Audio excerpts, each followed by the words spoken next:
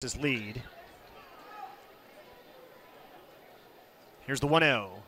Holliday hits this one in the air to right center. Going back is Dean. He reaches up. He can't get it. Hits the grass, rolls all the way to the wall. Tapia limping home. Hampson sprinting home. That's a two run double for Matt Holliday. And the Isotopes have increased their lead to 3 0.